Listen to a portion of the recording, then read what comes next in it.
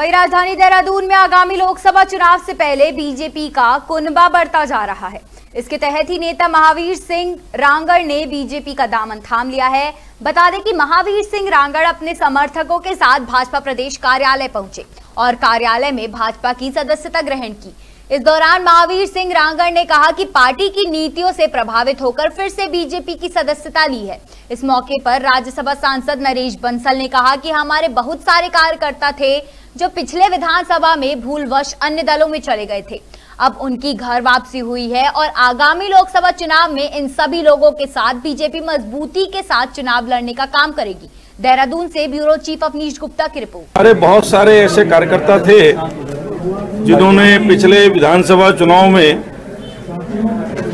कुछ भूल की, चुनाव लड़ गए, उनको अपनी गलती का एहसास हुआ, पश्चाताप हुआ। उन सबने निवेदन किया प्रदेश अध्यक्ष जी को कि हम चूँकि बचपन से, पहले से ही भारतीय जनता पार्टी से जुड़े थे और जो भूल हुई है उसको क्षमा करके हमको फिर से मुख्य धारा में सम्मिलित किया जाए। हम अपनी पूरी ताकत लगाना चाहते हैं। मोदी जी को फिर से प्रधानमंत्री बनाने में, प्रदेश की पाँचों सीटों को वो सब अपना योगदान देना चाहते थे।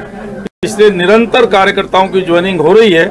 आज भी करीब 500 कार्यकर्ताओं ने पार्टी की सदस्यता ली है। मैं मैं पहले भी भारतीय जनता पार्टी में रहा हूँ, वर्षों संघ विचार से जुड़ा हुआ हूँ और निश्चित रूप उन परिस्थिति के कारण पार्टी से बाहर होना पड़ा।